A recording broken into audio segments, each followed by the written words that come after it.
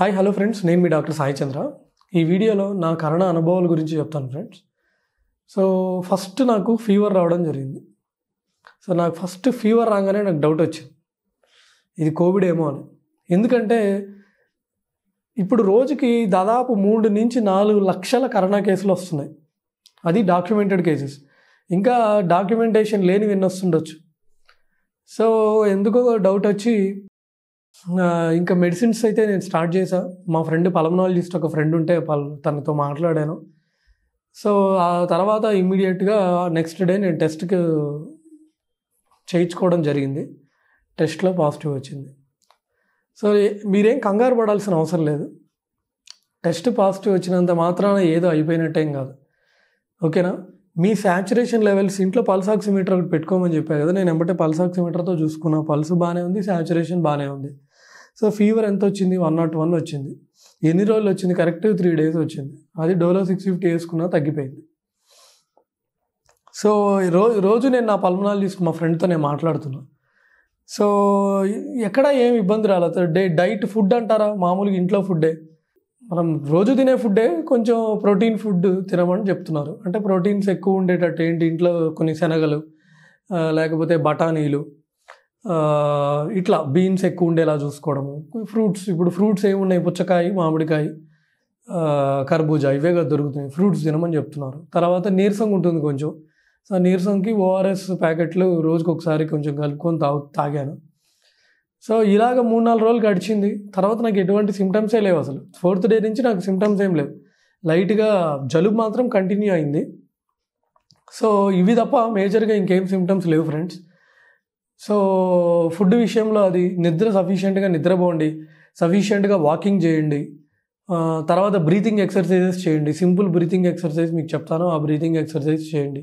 రోజు డాక్టర్తో కాంటాక్ట్లో ఉండండి. ఇంకా ఇంట్లో కూడా మాస్క్ వేసుకొని ఉండండి. సోషల్ డిస్టెన్స్ పాటించడానికి ట్రై చేయండి. ఇప్పుడు ఇంట్లో నలుగురు ఉంటే నలుగురికి వస్తే అందులో చిన్నపిల్లలకి వచ్చిందంటే చాలా ఇబ్బంది. టీవీ ముందు కూర్చొని ఎన్నైనా చెప్పగలుగుతాం. మాస్క్ వేసుకోండి అలా చేయండి ఇలా చేయండి. కానీ చిన్నపిల్లలు రెండేళ్ళ పిల్లలు మూడేళ్ళ పిల్లలు నాలుగేళ్ళ పిల్లలు ఉంటే వాళ్ళు మనం చెప్పిన మాట వినరు. మాస్క్ వేసుకోమంటే పెట్టుకోరు. ఒక చోట కూర్చోమంటే కూర్చుంటారు. పెద్దవాళ్ళే చెప్పిన మాట వినట్లేదు. ఇంకా పిల్లలే వింటారు? సో ఇట్లాంటి ప్రాక్టికల్ ప్రాబ్లమ్స్ కొన్ని ఉంటాయి కానీ సింపుల్ ఇలానే వచ్చినాయి సిమ్టమ్స్ మందులు వేసుకున్నాము. ఐదు రోజుల కోర్స్ అయిపోయింది. ఆ తర్వాత కొన్ని multivitamins B complex calcium vitamin C ఈ జింక్ ట్యాబ్లెట్లు వేసుకోవడం జరిగింది. ఇంకా ఏ సిమ్టమ్సే లేవు. ఓకేనా? సో మీరు ఒక డాక్టర్తో మీరు కాన్స్టెంట్గా టచ్లో ఉంటే తను మీకు బ్లడ్ టెస్ట్లు అవసరమా లేదా అనేది చెప్తాడు. సిటీ స్కాన్ అవసరమా లేదా అనేది చెప్తారు సో అందుకని నేను చెప్తున్నా మీకు ఏ రోజైతే సిమ్టమ్స్ వచ్చినాయో ఆ రోజే మీరు కంపల్సరీగా ఒక డాక్టర్ని ఇద్దరు డైరెక్ట్గా వెళ్ళి కలవండి ఆర్ త్రూ ఫోన్ ద్వారా కన్సల్ట్ అవ్వండి. సో దట్ ప్రతి డే ఫాలో అప్ ఉంటుంది. చాలామంది చేస్తున్న మిస్టేక్ ఏంటంటే నాకు నాకు ఊరికే మెసేజ్ పెడతారు కాల్ చేస్తారు. దానివల్ల ఏంటి ఉపయోగం?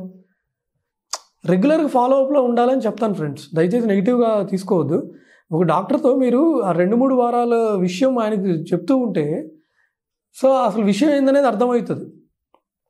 రోజు చెప్పకపోయినా every two days every two days కాకపోయినా every third day every third day కాకపోయినా ఎవ్రీ ఫోర్త్ డే అయినా విషయం ఏందనేది తెలుస్తుంది.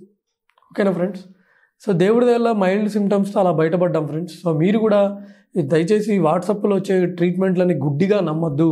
పేషెంట్ పేషెంట్కి కొంచెం అటు ఇటు మారుతూ ఉంటుంది. మీకు వచ్చే సిమ్టమ్స్ బట్టి అటు ఇటు మారుతూ ఉంటుంది. సో కంపల్సరీగా ఒక డాక్టర్తో ఫాలోఅప్లో ఉండండి. ఫీవర్ అనగానే మళ్ళీ చెప్పడం కాదు.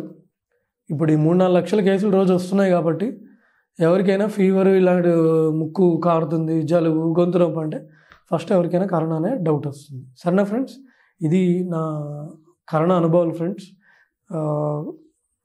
దేవుడి దగ్గర బాగానే రికవర్ అయ్యాము. సో మీ అందరు ఆశీస్సులతో thanks for watching bye bye